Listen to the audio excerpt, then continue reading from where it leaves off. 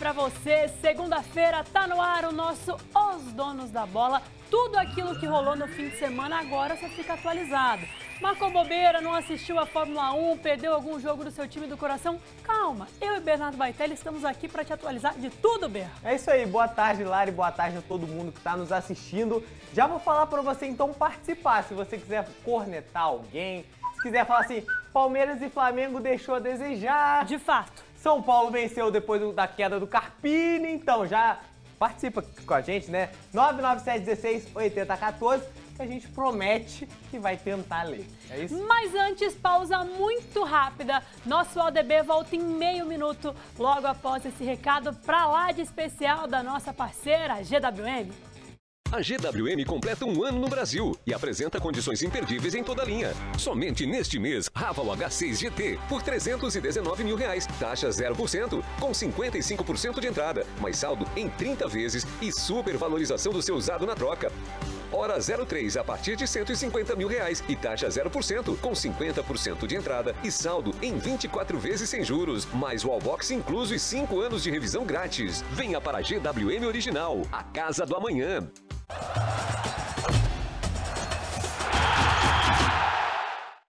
Muito bom, agora é sim, todas as informações do esporte. Deixa eu fazer justiça aqui, Bem, a gente estava comentando sobre o Palmeiras. Uhum. O meu dentista, inexclusive, tá. sexta-feira, tirei aqui um siso dos dentitos, ele falou, tá segunda-feira eu quero ver falar bem do meu verdão. Hum? Doutor Renan, realmente não se ajudou, né? É Mas como eu ainda tenho um siso para tirar, Palmeiras maravilhoso, excelente.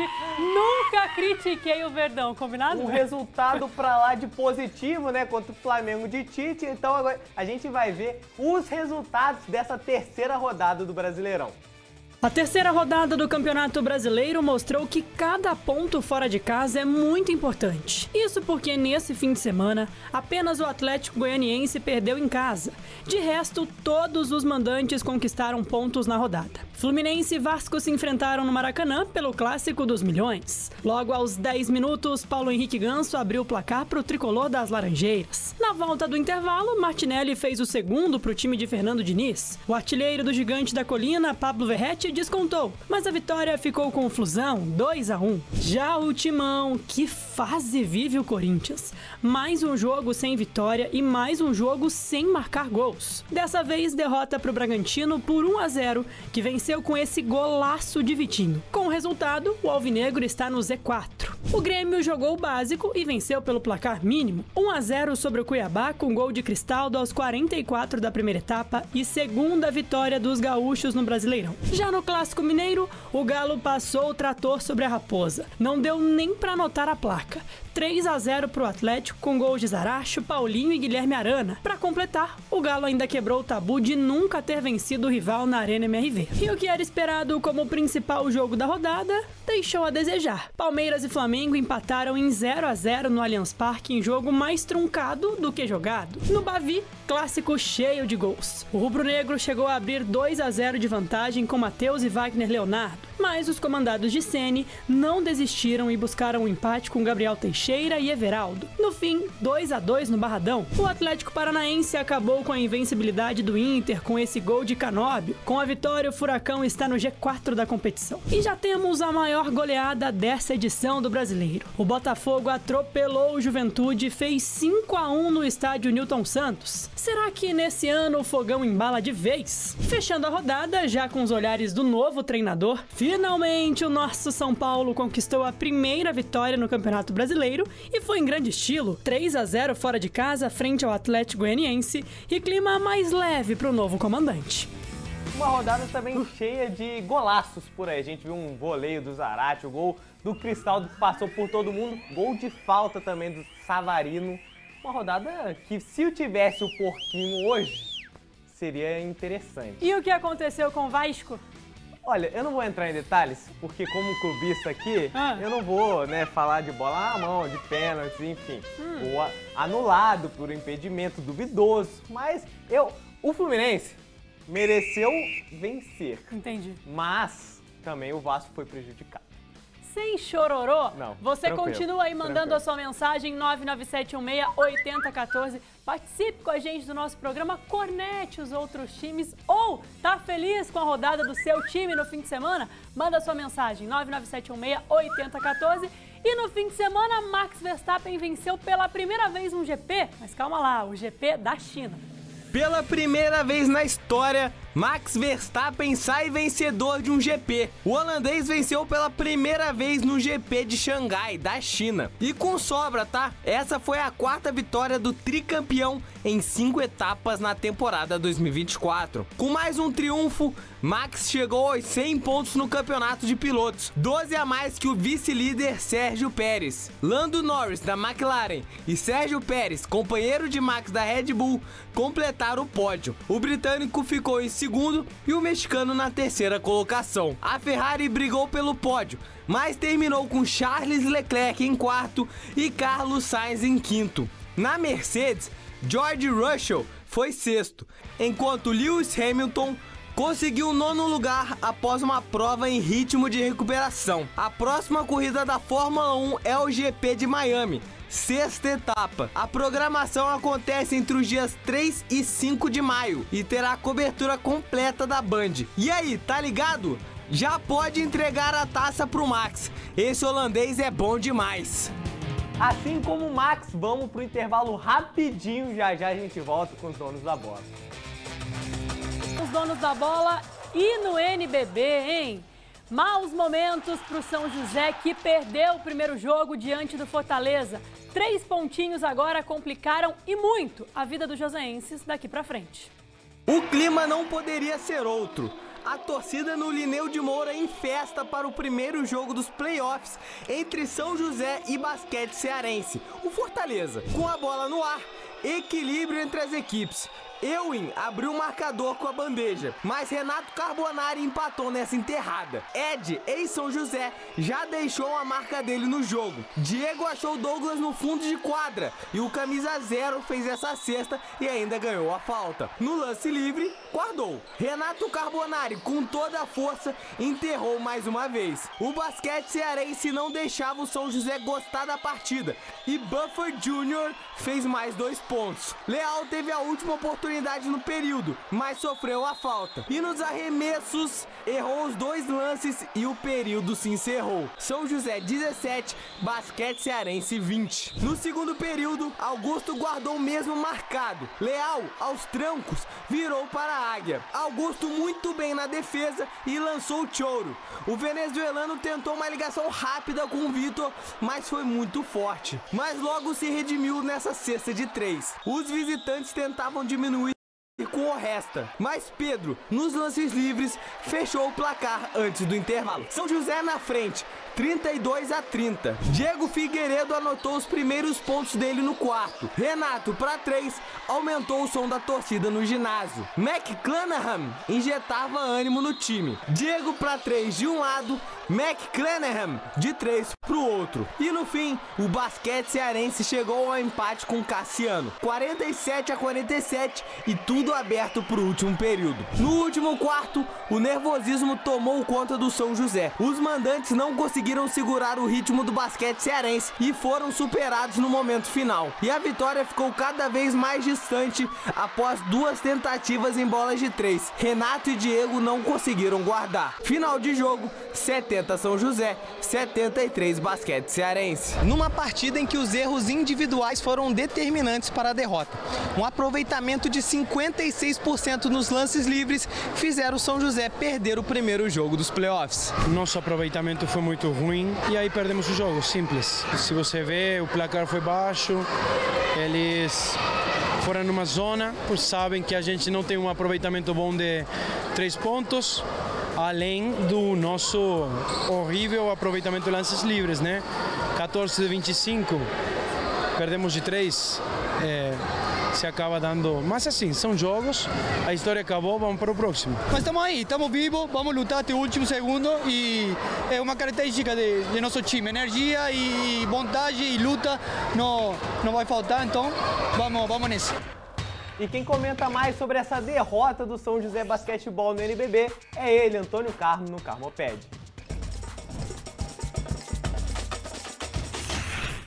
Alô, meus amigos, os donos da bola, muito boa tarde. Sejam todos bem-vindos nesta bela segunda-feira. Para você que está aí depois de um bom fim de semana, já no trabalho, agora na hora do almoço, descansando e nos honrando com a sua audiência nesse que é o mais tradicional programa esportivo da TV do Vale do Paraíba. Os donos da bola do ar, com toda a nossa equipe aqui, com Larissa Murad, com o Pedrinho, também com o Bernardo e hoje com o Gonzaguinha aqui conosco também.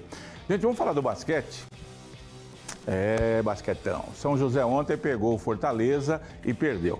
Primeiro jogo em casa, das oitavas de final, 7-3 Fortaleza, 70 para o São José. A gente acabou de ver aí a matéria do Bernardo, os lances. São José perdeu muito lance livre. Isso é, todo mundo sabe, né?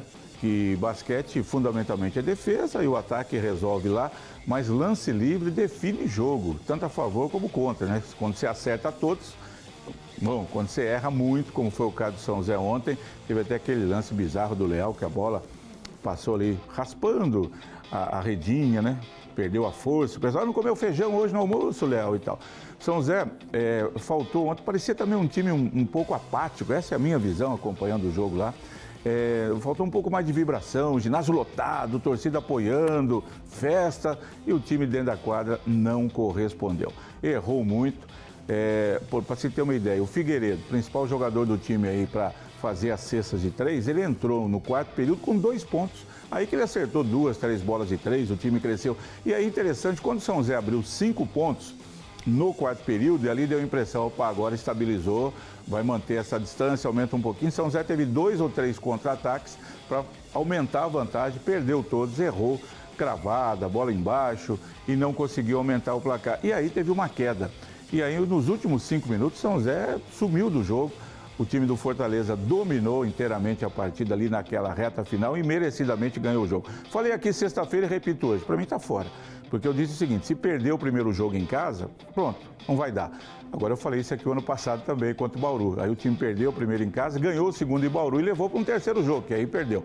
Mas se jogar desse jeito tem que ter muito mais força. Tá fora, lógico que não, estou brincando uh, em termos de, de objetividade. O time precisa realmente jogar mais. É possível? Sim, mas vai ter que melhorar, tá bom?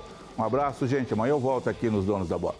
Não dá para desperdiçar tanto lance livre. A indignação do Sebastião ali no fim do jogo realmente não é pelo placar, né? Só três pontos separaram as duas equipes. Mas não conseguir aproveitar o fator casa, Sim. muitos torcedores comentaram isso, inclusive, nas redes sociais. Se não conseguiram converter os lances com a torcida a favor, imagina lá em Fortaleza, que também é uma baita panela de pressão. São José sabe o que vai encarar pela frente. É claro, pode ir para Fortaleza agora no fim de semana e fazer um jogo épico, ganhar de 10, 20, 30 pontos. Mas a questão é que nesse duelo deixou a desejar para uma torcida que é tão apaixonada, né, Ber? Mas talvez igual do vôlei, tem muita pressão aqui lá joga mais solto. Vamos ver se contra Bauru na temporada passada foi exatamente assim. Sim. Perderam aqui, foram lá, venceram e Bauru era até mais time que Fortaleza, na minha humilde opinião. Né? No futsal, na Liga Nacional, vitória sim, suada do São José em casa. Um 5 a 4 com gostinho de quase, quase empate. No Tênis Clube São José encarava o Açoeva para voltar a vencer na Liga Nacional. Mas peraí, cadê o técnico Pichu? Ah, tá ali, agora sim. Hoje eu tô baqueado, tô com dengue e eu pedi pro Carioca ali, meu auxiliar, revezar comigo. Tinha hora que eu não conseguia ficar em pé, mas eu não podia deixar minha equipe na mão. Ok, Pichu, melhoras para você. Dentro de quadro, São José começou em cima, querendo abrir o placar a todo custo. Rony era quem mais tentava, mas estava difícil vencer o goleiro Andrei.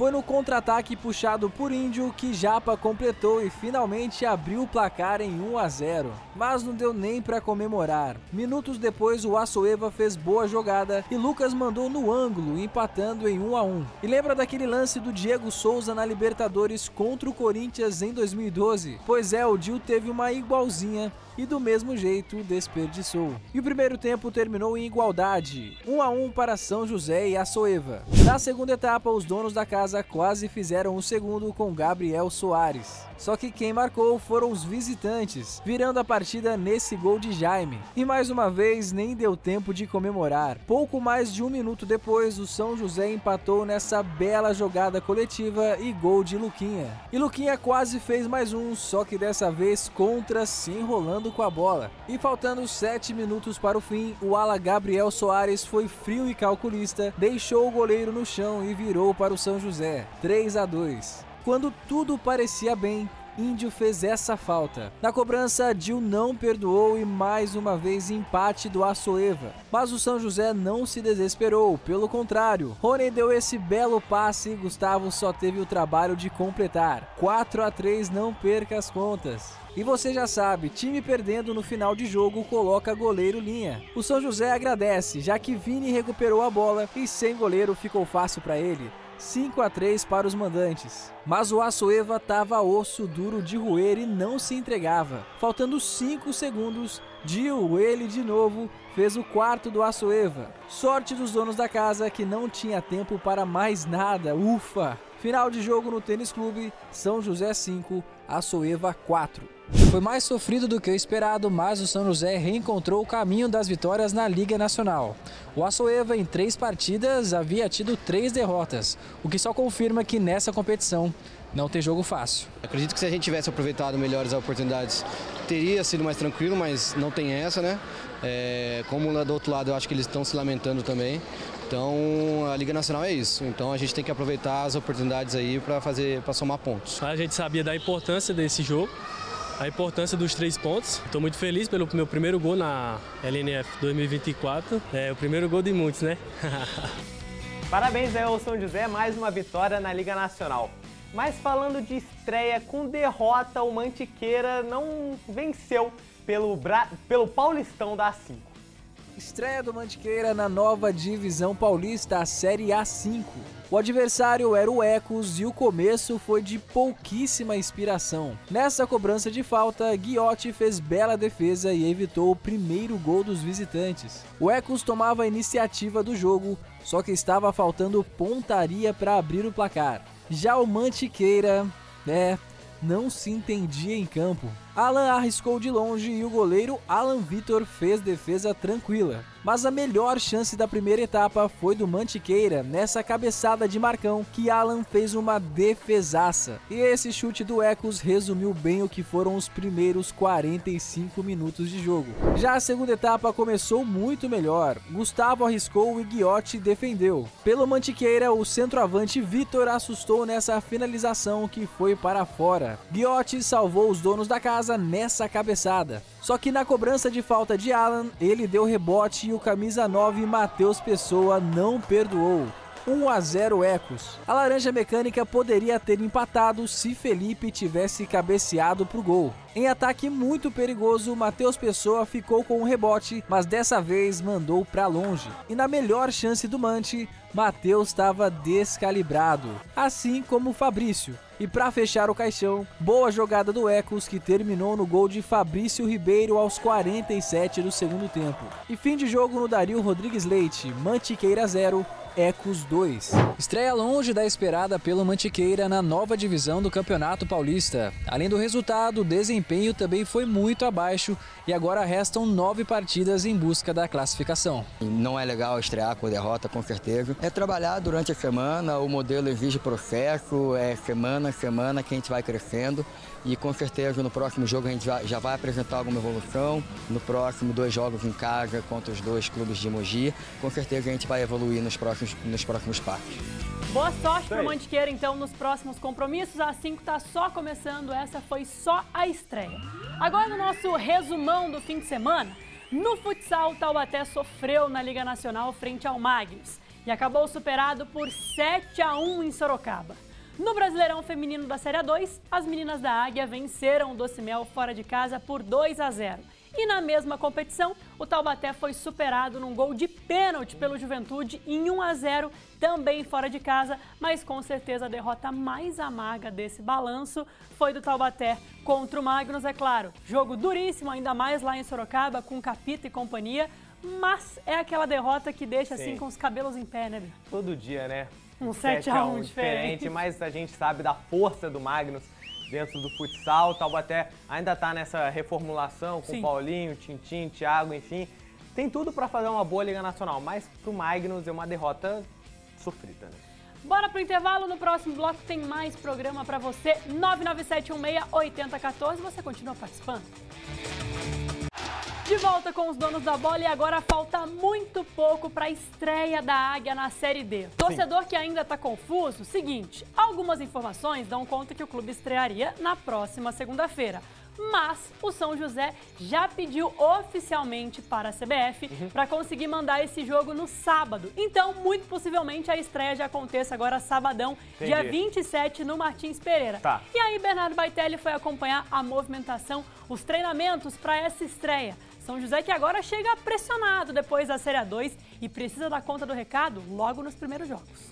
Oi, Martins Pereira? Há quanto tempo não nos falamos quando o assunto é Águia do Vale? Tava sumido, hein? Por aqui, ritmo intenso nos treinamentos do São José, visando a estreia na Série D diante do Costa Rica, do Mato Grosso do Sul. Estreia dentro de casa, temos que jogar para ganhar, independente do adversário. Sempre falei isso para vocês. Aqui a gente sempre foi forte é, e a gente vai buscar é, é, ter esse espírito novamente de casa. O São José se reapresentou à imprensa após a eliminação da A2 e o treinador Ricardo Costa avisa: a Série D pode ser ainda mais perigosa que o Paulistão. A gente não parou de, de, de trabalhar, né? Em nenhum momento, até porque é uma competição ligada na outra. É, a Série D é um pouquinho mais forte do que a Série A2, então a gente está reforçando para poder fazer uma grande campanha. Além do rival da estreia, o São José está no grupo A7, com Água Santa, Patrocinense de Minas Gerais, Inter de Limeira, Maringá do Paraná, Pouso Alegre de Minas Gerais e o Santo André. Diferente dessa Série A2, são 68 equipes,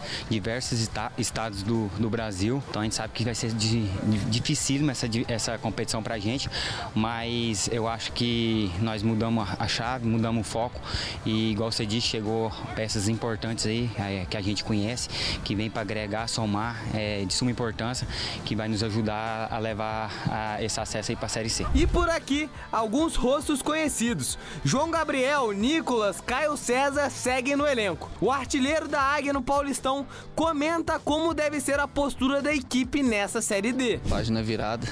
A gente sabe da, sabia né, da dificuldade do, do Campeonato Paulista. É, eu acho que a gente deixou a desejar em alguns jogos e a mentalidade para o brasileiro, o Ricardo falou para a gente que, que a gente tem que entrar naquela gana de vencer como foi no, no começo do, do campeonato. A gente botar em prática agora no brasileiro. E ao final da A2, o treinador Ricardo Costa foi duramente criticado pelos torcedores, mas agora vira a chave. É cultura, né? Cultura do brasileiro. Perdeu, é todo mundo ruim, ninguém presta, ganhou, todo mundo é bom, todo mundo é rei, tem que estar na seleção brasileira. Então, claro, a gente fez a avaliação, a gente conversou com, com os gestores, a gente identificou problemas dentro do, do, do- do elenco na questão da montagem, que a gente hoje está reforçando, está reforçando bem, na minha opinião. Então é isso, a gente tem que ter paciência, lógico que todo mundo quer subir, ser campeão mundial rápido e não é assim que funciona, tudo tem um processo. Se Ricardo mostra mais intensidade nas respostas, João Gabriel tá calmo e tranquilão. E para esse brasileiro,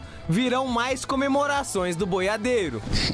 Foi até engraçado, mas é, no, no, pro Paulista eu botei uma meta, né?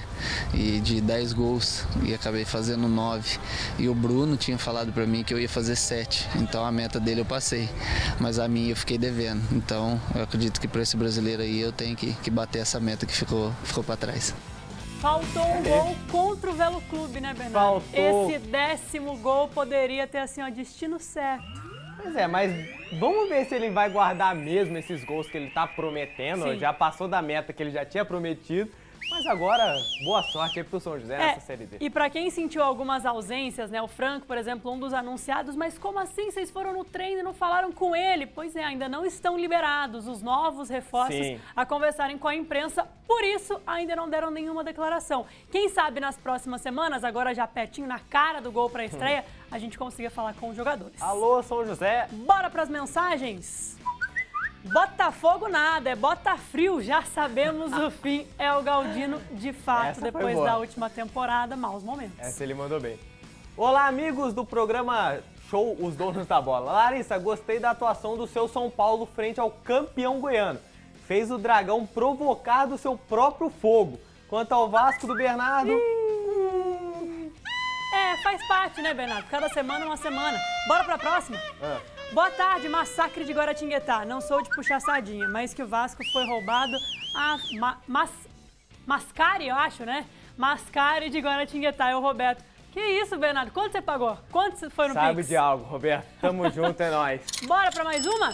Boa, Boa tarde, tarde, meus meus am- amigos. Perdão. Esse meu Corinthians é só por Deus. Yuri Alberto, Pedro Raul são pior que salsicha em lata. É o Everton Diego de Taubaté. Olha, Não tá feliz o torcedor com- corintiano mesmo, né? Comparar salsicha com o Pedro Raul e Yuri Alberto é dureza. Eu não sei os nossos telespectadores, né? Mas aqui na redação tem alguns corintianos que Hum. estão assim, ó, fugindo da raia. Quando estão em boa fase, o que não param de encher a nossa paciência aqui é brincadeira. É verdade. Hoje a gente foi conectar um corintiano e falou, pô, esse é o time dele.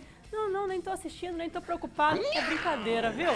Bora falar com o Otávio Baldinho. Otávio, muito boa tarde pra você. Caroline Rossazzi de férias, é isso? Folga aí, hein? Larissa Musa Murad e o campeão dos campeões, nosso querido Bernardo Baitelli, preparados para nossa resenha um mês inteirinho, hein? Dose dupla boa, de Baldinzinho Que nas isso? duas edições do Band Cidade, hein? Isso, é uma Baldinho, máquina. Já vou te desanimar um pouco, porque muito em breve eu também saio de férias, então 30 dias só com o Bernardo. Então vou passar no RH para rever sobre esse processo aí. Eu não fico sem Larissa Murad. Pô, mas eu Impossível. tô sem moral então, né? Comigo. Calma, calma. Pode Bernardo. passar, né? Bernardo, você tá no meu coração sempre, meu querido. Tamo junto. Um beijo, boa semana. Falou, demais. Baldinho, valeu.